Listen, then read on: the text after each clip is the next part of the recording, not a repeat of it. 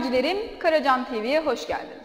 Bugün sizlerle 11. sınıf konumuz olan tiyatro konusunu işleyeceğiz.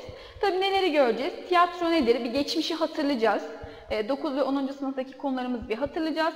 Tiyatro nedir? Tiyatro kaça ayrılıyor? Modern tiyatro, geleneksel Türk tiyatrosu deyince hangi başlıklar aklımıza gelecek? Ee, Cumhuriyet döneminde tiyatro nasıl ilerlemiş, nasıl gelişmiş, neler ele alınmış, bu dönemde Cumhuriyet döneminde hangi e, yazarlar tiyatro metinleri ortaya çıkarmışlar, bu konular üzerinde duracağız. İlk olarak sizinle tiyatro nedir konusunu paylaşmak istiyorum.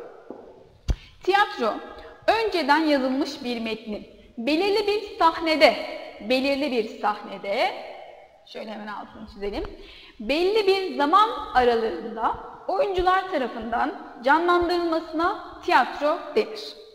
Yani bir sahnemiz olacak, canlandırmak üzere kurulmuş edebi metinlere ben ne diyorum? Tiyatro diyorum. Tabii bu e, ilk olarak tiyatro nerede karşımıza çıkıyor? Modern anlamda tiyatro. Eski Yunan'da karşımıza çıkıyor. Bağ bozumu dedikleri bir bunların e, geleneksel hale gelmiş Tanrı ile alakalı bir durumları söz konusu. Milattan önce 5. yüzyılda burada karşımıza çıkıyor ve tiyatro ilk defa milattan önce 5. yüzyılda eski Yunan edebiyatında görüyoruz. Daha sonra bizim edebiyatımızda şöyle bir şey var. Aslında bizim bir geleneksel Türk tiyatromuz var. Yani modern Türk tiyatrosundan önce bir geleneksel Türk tiyatromuz var. E peki arasındaki fark ne? Geleneksel Türk tiyatrosuyla modern Türk tiyatrosu arasındaki en önemli fark yazı. Yani şöyle, e, gelenekselde bir metne bağlı kalıyorsunuz. Her şey önceden ayarlanmış. Fakat bizim şey modernde ama bizim gelenekselde herhangi bir metne bağlı kalmıyorsunuz. Doğaçlama olduğu için arasındaki en bariz fark bu. O yüzden biz öncesinde e, geleneksel Türk tiyatrosu, daha sonra da yazılı bir metin ortaya çıktığı için modern Türk tiyatrosu diyoruz. Peki şunu da hemen bir öğrenelim. Modern demişken Türk Edebiyatı'nda modern yani batılı anlamda ilk yerli tiyatro artık biliyorsunuz zaten bunu. Şinasi'nin yazdığı şair evlenmesidir. Burada bir görücü usulü evlilikten bahsediyor. E, çünkü toplumun aksayan yönlerini e, dile getirdikleri için şair yazarlar bundan bahsediyor. Tabi bu sahnelenmemiş, yazılmış. Peki ilk sahnelenen tiyatro ise Namık Kemal'in Vatan Yahut Silistre adlı tiyatro eseridir. Hemen şöyle devam edelim. Geldim geleneksel Türk tiyatrosu. Dediğim gibi bunlar zaten 9. sınıfın konusu ama kitabımız e, size hatırlatma olsun diye bunlardan başlamış.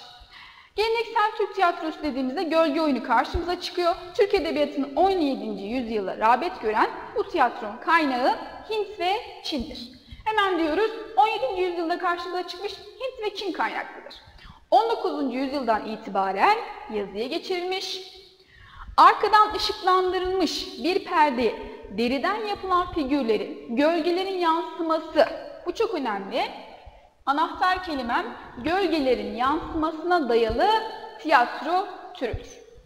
Bu özelliğinden dolayı hayali zilli, hayali zıl de denir. Buna lütfen dikkat edin. Bu karşınıza muhakkak çıkar.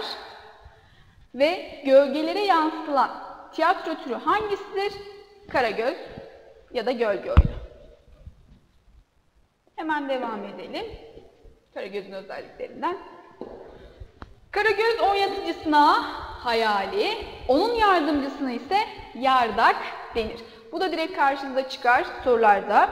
Toplumun her kesiminden insanın canlandırdığı gölge oyunu ana kahramanları kimlerdi? Karagöz ve Hacivat. Karagöz neyi temsil ediyordu?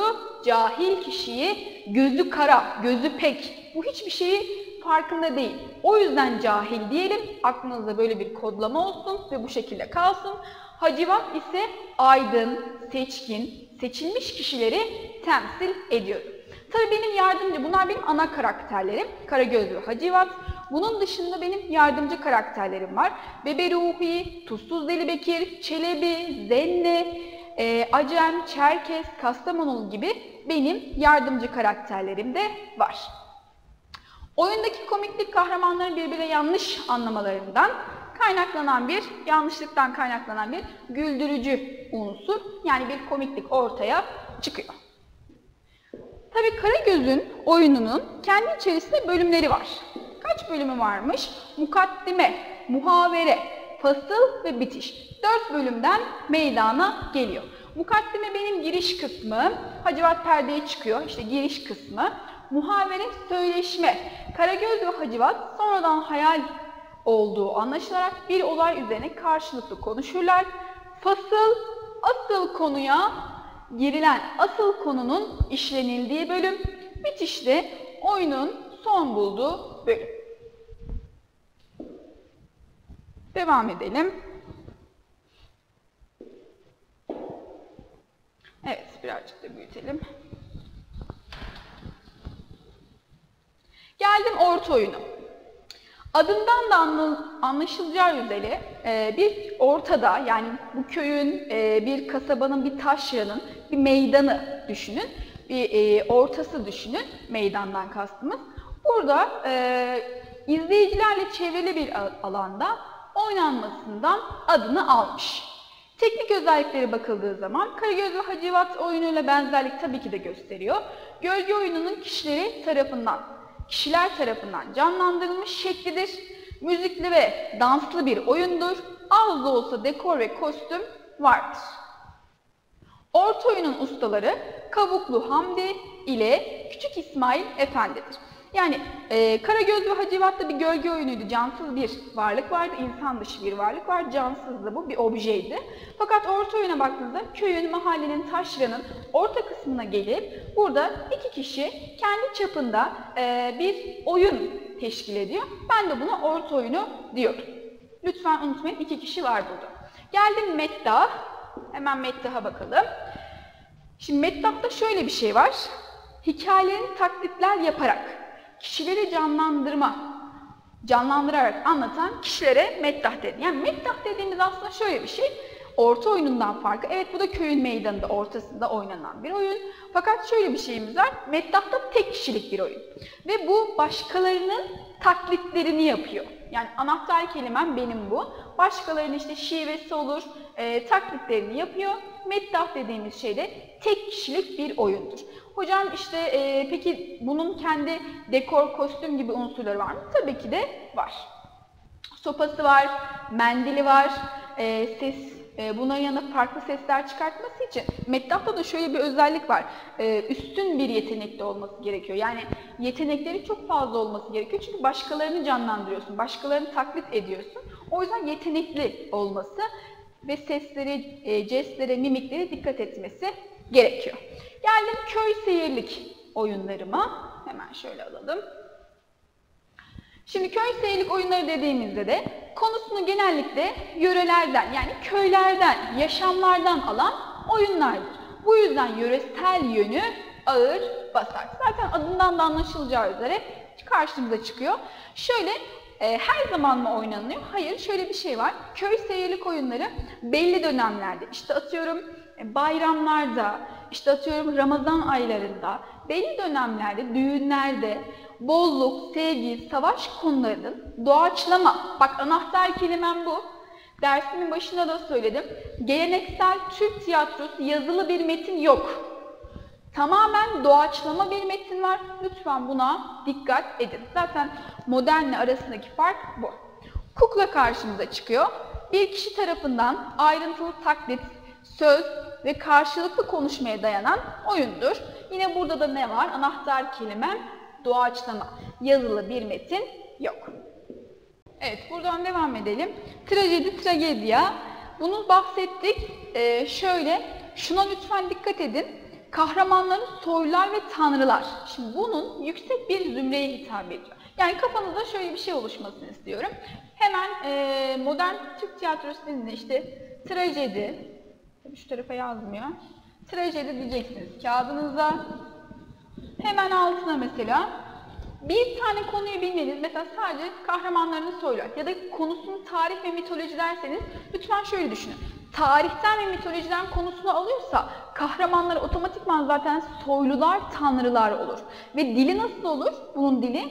Dili tabii ki de süslü, e, yazım ve noktalamaya uygun, yüksek bir zümreye hitap ediyorsunuz çünkü siz.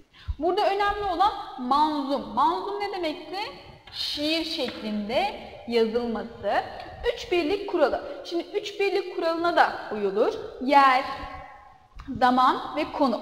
Yani e, aynı zamanda başlıyor. 24 saat içerisinde başlıyor ve 24 saat içerisinde bitiyor. E, mekan olarak aynı yer kullanılıyor. E, işte olay olarak da tek bir olay kullanılıyor. Diyalog ve koro bölümlerinden oluşur dedik. Sahnede tabii siz şimdi yüksek bir zümreye hitap ettiğiniz için sizin kahramanlarınız soylar ve tanrılar olduğu için tabii ki de sahnede kötü söz, kaba davranış sahnede gösterilmez. Lütfen buna dikkat edin. Hemen şöyle devam edelim.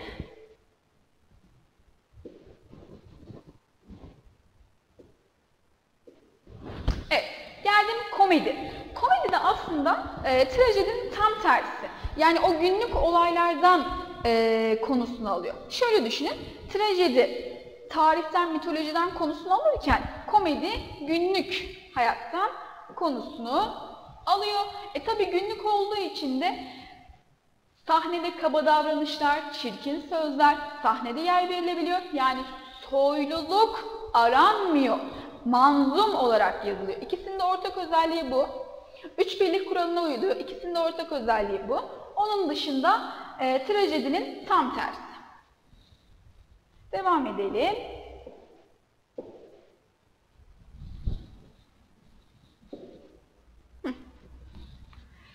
Ee, evet.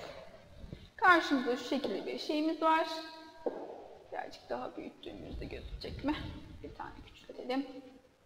Evet.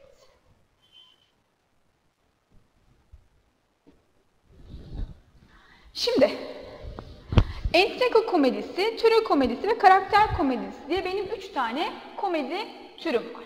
Baktığınız zaman entrika dediğiniz zaman olaylar şaşırtma ve hileye dayanır. Bir entrika dersiniz ne entrikalar çeviriyorsun? Yani bir şaşırtmalar, bir hileler çeviriyorsun dersiniz. Shakespeare'in Yanlışlıklar Komedyası bu türde en önemli tiyatro metnidir. Töre komedisine baktığınız zaman toplumun aksiyon taraflarını gülünç bir şekilde ortaya koyan tiyatro türüdür. Karakter komedyası insan merkezlidir. İnsanın karakteri oradan aklınıza gelsin. İnsanların gülünç yanlarını işlediği tiyatro metnidir. Geldim diğer bir üçüncü başlığım. Dram. Dram dediğimiz zaman Dramda da şöyle bir şey var sevgili öğrencilerim. Trajediyi gördük, soylu kişilerdi. İşte e, komediyi gördük, toplumdan her kesimden alıyordu. Soyluluk aranmıyordu, çirkin olaylar sahnede gösteriyordu. Komedi ve dramın, e, şey komedi ve m, trajedinin birleşimi aslında bana dramı veriyor. Bunda da şöyle bir şey var. Sınıf ayrımı yapmıyor. İster diyor konunu tarihten seç, mitolojiden seç. İstersen diyor konunu neyden seç? Günlük hayattan, günden, gündelik insanlardan, toplumdan seç. Benim için fark etmez diyor. İster dilini e, soylu kimselere uygun olarak yap, ister yapma. İster sahnede kaba davranışları göster, ister gösterme. Böyle bir şey var. Yani ikisinin karışımı deyip aklınızda kalmasını istediğim o yüzden. Üç birlik kuralına uyma zorunluluğu yok. Diğerlerinden ayıran anahtar kelime de bu. Tamam mı? Temsilcilerini zaten Victor Hugo, Shakespeare bunları zaten biliyorsun. Evet burada karşımıza neler geliyor? Şöyle bunu şöyle tiyatro terimlerimiz geliyor. Birazcık büyütelim. Evet. Tiyatro terimlerimiz geliyor. Baktığınız zaman şöyle baktığınız zaman adaptasyon, adapte olma, yabancı bir eseri çeviri yapılan toplumun özelliklerine uyarlama, adapte olma, aktör, erkek tiyatro sanatçısı, aktris, kadın tiyatro sanatçısı, Darül Bedai, İstanbul Şehit Tiyatrosu'nun eski ismi. Dekor zaten biliyorsunuz sahneye döşeyip hazırlamakta kullanılan eşya. Dramatize etmek, bir olayı duygu düşünceyi canlandırarak anlatmak. Entrika, roman, öykü, tiyatro gibi olayların, türlerdeki olayın okuyucu ya da seyirciye merak uyandıracak şekilde ele alınması, içine girmesi. Epizod, Yunan trajedisinde oyunu oluşturan bölümlerin her birine verilen addır. Evet devam edelim. Jest, oyuncunun beden hareketleri. Conduit, oyunda sahne sınırısına gelenlere sahneye çıkmasını hatırlatan kişi. Kostüm, zaten oyuncunun giydiği kıyafet. Mimik, duygu ve düşünceleri anlatmakta kullanılan yüz hareketi. Mizansel, bir tiyatro eserinin sahneye konması. Perdeyi zaten biliyorsunuz geçişlerde geçişlerde açılıp kapanması karşımıza çıkıyor. Reji, oyunu sahneye koyma ve yöneten kişi. Repertuar, operada daha çok karşınıza çıkıyor. Opera, opera, operet, tiyatro topluluklarının bir oyun sezonunu göstererek oyunları e, listesi. Replik, sahnede konuşulanların birbirine söyledikleri sözler. Sahneyi zaten biliyorsunuz. Suflör, kulüste durarak oyuncuların durulmayacak bir biçimde sözlerini hatırlatan kişi duyulmayacak bir biçimde sözlerini hatırlatan kişi. Temaşa, tiyatro, tirat, tirat, oyuncuların birbirine karşı söylediği uzun sözler gibi gibi gibi. Şimdi tabi buraya kadar geldiğimizde siz şu an 9 ve 10. sınıfın konusunu gördünüz. Yani modern tiyatroyu gördünüz. Tiyatro ne demek? Sahnelenmek için yazılan edebi bir tür sahnede oyuncular tarafından gösterilmek için yazılan. E, batılı anlamda Tanzimat döneminde karşımıza çıkıyor. Ondan önce ne var? Geleneksel Türk tiyatrosu var. Burada da doğaçlama yoluyla oluşturulmuş. Orta oyunu, Meddah, Karagöz, Köy Seyirlik oyunları bunlar benim geleneksel Türk tiyatrosu kategorisinde yer alan eserlerim, e, tiyatrolarım. Geldiğim zaman modern Türk tiyatrosuna trajedi, komedi, dram var. Burada dikkat etmeniz gereken de üç birlik kuralı. Konusunu tarihten alır, konusunu günlük hayattan alır, e, konusunu ikisinin de karışımı olarak ikisinden de alabilir. Bu başlıkları zaten inceletecek. Geldik şimdi. Şunu birazcık büyütelim.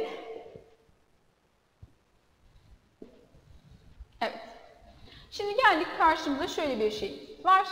Sizin 11. sınıfta bilmeniz gereken 1923-1940 yılları arasında Türk tiyatrosu. Evet, Tanzimat'ta karşımıza çıktı. Modern anlamda Şinasiler, Namık Kemaller ilk eserleri verdiler. Bakalım 1923 ve 40 arasında nasıl bir tiyatro türü karşımıza çıkıyor. Modern Türk tiyatrosu Tanzimat döneminden sonra Milli Edebiyat dönemine kadar neredeyse durma noktasına gelmiş. Milli Edebiyat döneminden yeniden canlanmaya başlamış, yeni kurulan Darülbedai Cumhuriyet dönemi tiyatrosunda da oldukça önemli bir yere sahip olmuştur. Tiyatro alanında aynı zamanda bir eğitim kurumu olan Darülbedai Milli Edebiyat döneminde olduğu kadar Cumhuriyet döneminde de yerli oyunların sergilenmesine öncelik vermiştir. 1923-1940 yılları arasında Türk tiyatrosu iki farklı yaklaşım dikkat çeker. Şimdi sevgili öğrencilerim, 23 ve 40 dediğimiz zaman şu gelecek modern tiyatro karşımıza çıkmış, tanzimata kadar devam etmiş fakat tanzimattan milli edebiyata kadar neredeyse hiç karşımıza çıkmıyor, durma noktasına geliyor. Daha sonra milli edebiyatta Darül Bedai'nin etkisiyle ne yapıyor? Hızlanmaya başlıyor. E, iki farklı yaklaşım dikkat çekiyor. Hemen devam edelim. Neymiş bu iki farklı yaklaşım? Evet, birinci yaklaşımımız Cumhuriyeti ve kazanımlarını övünç kaynağı olarak algılayıp Osmanlı Devleti'nin kuru, kuru, kurumlarına, Osmanlı Devleti'nin kurumlarına eleştirel yaklaşanlar. İkincisi ise yakın geçmişteki sosyal sorunları eleştirel üslupla ele alanlar. Şimdi bu ne demek? Şimdi bu çerçevede yazılan eserlere Cumhuriyet'in temel yaklaşımları gözlemek mümkündür. Şimdi Cumhuriyet dönemini Cumhuriyet'in temel yaklaşımlarını ele almışlar. Bu dönemde yazılanlar eserlerde Anadolu halkının hemen şöyle altını çizelim.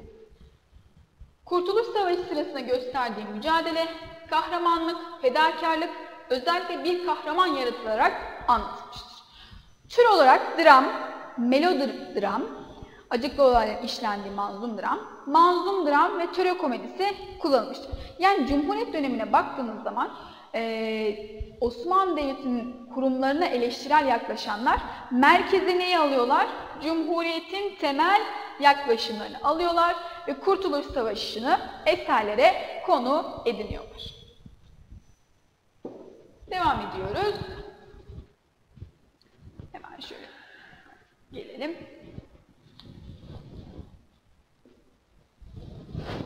Şöyle yapalım.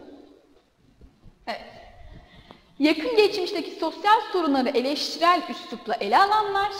Şimdi bunlar da eleştirel, yine eleştirimiz e, burada da devam ediyor.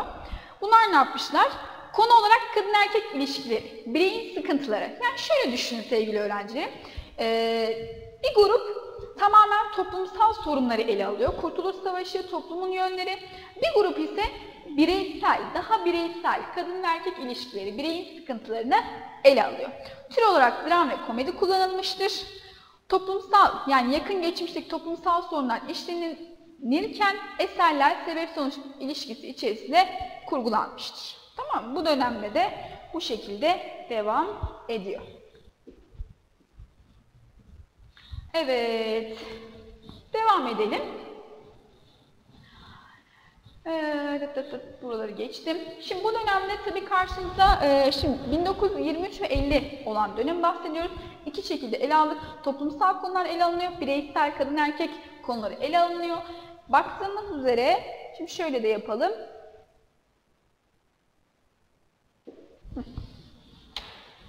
Baktığımız üzere Evet.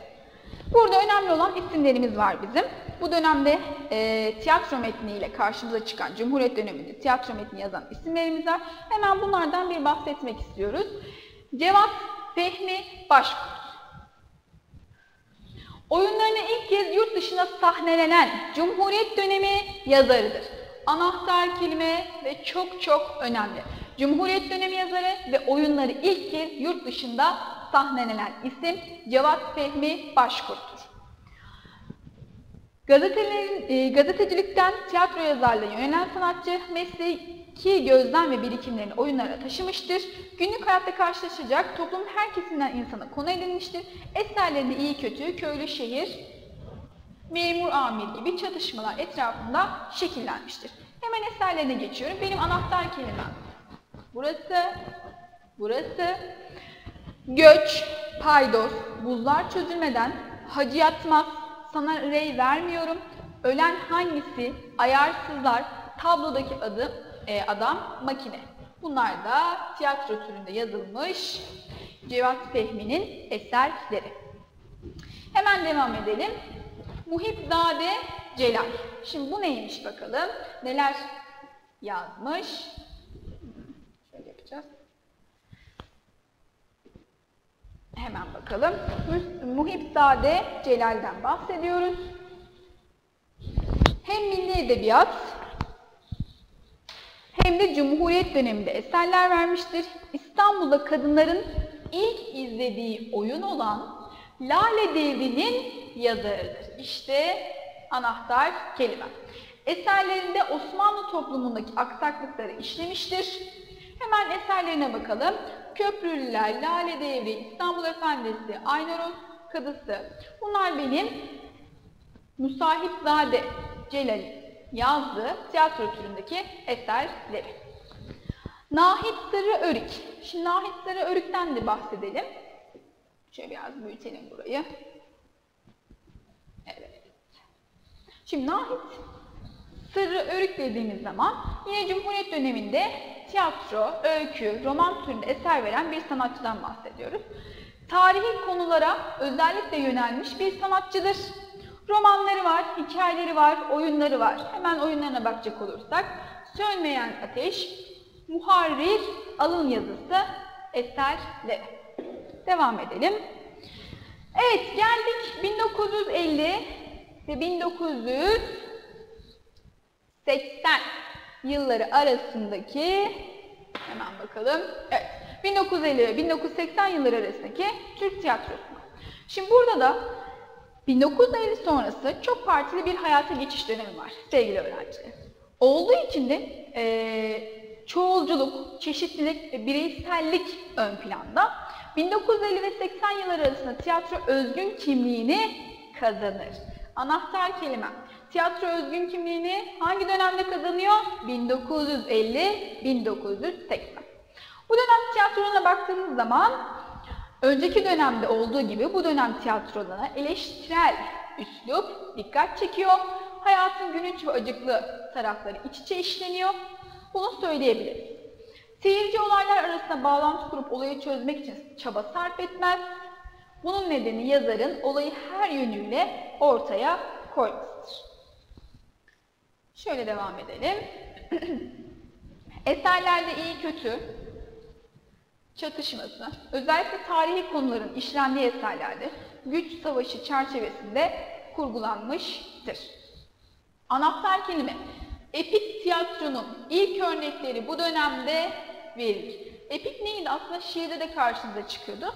Daha çok kahramanlık, savaş konularının epope, destan yani dastandı eski adı. Sonra destan olmuştu. Karşınıza burada çıkıyor. Burada Keşan, Keşanlı Ali Destanı bizim için önemli. Haldun Taner vermiş. Bunu buna dikkat ediyoruz. Evet. Devam edelim. Geldim Turan Oflaz Oğlu. Yurt dışında tiyatro eğitimi almış, hem tiyatro hem de tiyatro üzerine yazılar yazmış, çeviriler yapmıştır. Türk Edebiyatı'na çok da rağbet görmeyen traje türünün başarılı örneklerini veren isim kimdir? Turan Oflaz Oğlu'dur. Devam edelim. Eserlerine hemen şöyle bakacağız. Bunu bir büyütelim. Eserlerine bakacağız. Kezban, Allah'ın dediği olur, Elif, Sokrates savunuyor. Bunlar eserleri. Turgut Özakman, tiyatro, roman, senaryo, inceleme gibi türler eseri, eserler kaleme almış. Şu Çılgın Türkler adlı romanıyla üne kavuşmuş. Bu bizim için anahtar kelime. Tiyatronun tarihi konuları, kuşaklar arasındaki çatışmayı, aile ilişkilerini yani hem bireysel hem toplumsal konuları ele almış. İlk oyunu Pembe Evin Kaderi. Bunu ele almıştır. Burada da oyunlarımız gördüğünüz üzere paramparça, güneşte 10 kişi, töre, ocak, duvarların ötesi bunlar da tiyatro türünde yazılan eserleridir. Geldim Orhan Asena. Hemen bakacak olursak tiyatro türünün Shakespeare'in Shakespeare olarak anılmaktadır. Kimmiş bu? Anılan Orhan Asena. Tiyatro bence tarihin sustuğu yerde başlar diye bir cümlesi var. Tarihi konularda eserler yazmıştır. Mitolojiden faydalanmıştır. Devam edelim.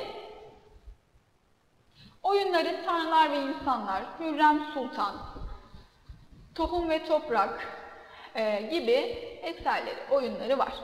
Güngör Dilmen, diğer bir ismimiz. Oyunların tarihten ve mitolojiden almış, yine her zamanki bir çağın eleştirisini yapmış diğer sanatçılarımız gibi. Edebiyatımızda en önemli absürt tiyatro örneği sayılan Canlı Maymun Lokantası'nı Batı'nın gelişmişlik, gelişmişlik, gelişmemişlik kavramları ile Doğu'nun madde ve duygu kavramları karşı yani Batı'yı ve Doğu'yu karşı karşıya getirerek ele aldığı bir tiyatro metnidir. Ben Anadolu, Deli Dumrul, Galine'nin günahları, Hakimiyeti Milliye, Aş Evi gibi önemli eserleri vardır. Geldim 20. yüzyıl dünya edebiyatında tiyatroya. 20. yüzyıl dünya edebiyatında tiyatrosu önceki dönemlerden farklı olarak yeni bir anlayış hakim oldu. Anahtar kelime yeni bir anlayış hakim olmuş. Bu anlayışa göre sanat gerçeği yansıtmaz, bu yüzden yapma bir insan etkinliğidir. Yani 20. yüzyıla baktığınızda bir önceki dönemlere göre 50 ve 80 işte 23 ve 50 dönemlerine göre diyor ki gerçeğin yansıtmasının bir anlamı yok. Hayal ürünü yani gerçek dışı olması benim için yeterlidir diyor. Yazarın yanı sıra yönetmen ve sahne tasarımcısı da tiyatroda söz sahibi olmaya önemsenmeye yani sahne tasarımcısı, kıyafetler e, bizim için burada önemli olmuş 20. yüzyılda. Tiyatro e, yönetmenin dışında sahne tasarımcısı da tiyatroda söz sahibi olmuştur. Tiyatro geçmiş dönemlerde olduğu gibi bir eğlence aracı olarak kabul görmez. Bu yönde yazılan ve sahnelenen eserler izleyici sayısının azalmasına neden olmuştur. Bu da eleştirileri beraberinde getirmiştir. Karşımıza epik tiyatro, absürt tiyatro diye bir kavramlar çıkıyor. Hemen bunları da bir inceleyelim. Epik tiyatro, şunu da söyleyelim. 20. yüzyıllarda e, bu tiyatrolar karşımıza çıkmış. Epik tiyatro dünya edebiyatında Bertolt Brecht tarafından getir, geliştirilen, Türk Edebiyatı'nı öngören ve Haldun Taner'in temsilciliğini yaptığı tiyatro türüdür. Epik tiyatronun konusu, konularını işsizlik, açlık, savaş gibi olay ve durumlar belirleyici olmuştur. Geldim absürt tiyatroya. Absürt tiyatroda uyumsuzluk tiyatrosudur. İkinci Dünya Savaşı sonrası insanlığın içine sürüklendiği bunalım kendini tiyatroda göstermiştir. Devam edelim. Burada önemli isimlerimiz var. Onların yazdığı eserler var. Bertolt Brecht, ondan da bahsedelim. Alman asıllı şair, oyun ve tiyatro yazarıdır. Epik tiyatronun diğer adıyla diyalektik tiyatronun koruyucusudur. Anahtar kelime. Eserlerine savaşın altında yatan toplumsal nedenleri ele almıştır. Eserlerine baktığımız zaman Gecede Davullar, Beş Paralık Opera, Galileo ve Galilei, Cesaret Ana gibi tiyatro türünde eserleri vardır. Devam ediyoruz. Samuel Beckett. Şimdi bundan bahsedeceğiz. Dünya Edebiyatı absürt tiyatronun en önemli temsilcilerinden biri. İlk oyunu Godotio beklerken ile tiyatro alanında büyük başarı kazanmış. Anahtar kelime 1969 yılında Nobel Edebiyat Ödülü, ödülünü almıştır anahtar kelime. Eserleri Oyunun Sonu, Eko'nun Kemikleri, Sıradan Kadınlar Düşü, Ne Nerede gibi eserleri vardır. Devam edelim. Evet, konumuz bu şekilde burada bitiyor. Şimdi sevgili öğrencilerim, bugün neyi işledik, neleri gördük hemen bir hatırlayalım. Tiyatro nedir? Bugünkü öğrendiklerimiz tiyatro nedir? Ee, modern tiyatro nedir? Geleneksel Türk tiyatrosu değil, nedir? 1923 ve 1950 arasındaki tiyatrolarımız nelerdir? Bunlardan bahsettik. 1923 ve 1940, 1900 Sonra neye geldik? 1950 ve 80 arasındaki tiyatrolara geldik. Bunlardan ve tiyatro metni yazarlarından bahsettik. Ee, sizden ricam sizin için önemli olan geçmiş konularınızı hatırlamanız için geleneksel ve modern tiyatronun ne olduğunu, Karagöz'ün işte kendi iç bölümlerinin olduğunu, e, Hacivat'ın neyi temsil ettiğini, Karagöz'ün gözü kara yani cahil kimseyi temsil ettiğini, trajedi, dram ve e, komedide üç birlik kuralı ne demek buna dikkat etmeniz gerekiyor. E, sonra manzum mu yazılıyor, mensur mu yazılıyor bunlara dikkat etmeniz gerekiyor. 23-40 ee, arasındaki nasıl bir dönem karşımıza çıkıyor? 40 ee, ve 80 arasında, 50 ve 80 arasında nasıl bir dönem karşımıza çıkıyor? Ee, tiyatro hangi dönemde durma noktasına geliyor? Tanzimattan milli edebiyata kadar durma noktasına geliyor, sonra yükseliyor gibi gibi. Bugün sizlerle bu tiyatro konumuzu işlemiş olduk. Lütfen bu konuları özet niteliğinde bir e, kağıda kavram haritası olarak özet niteliğinde hazırlayın ve bu konularla ilgili muhakkak 50 tane minimum sorunuzu çözün. Ee, daha çok pekişeceğini ve daha iyi anlaşılacağını düşünüyorum. Bir sonraki ders videomuzda görüşmek üzere. Kendinize iyi bakın. Sağlıkla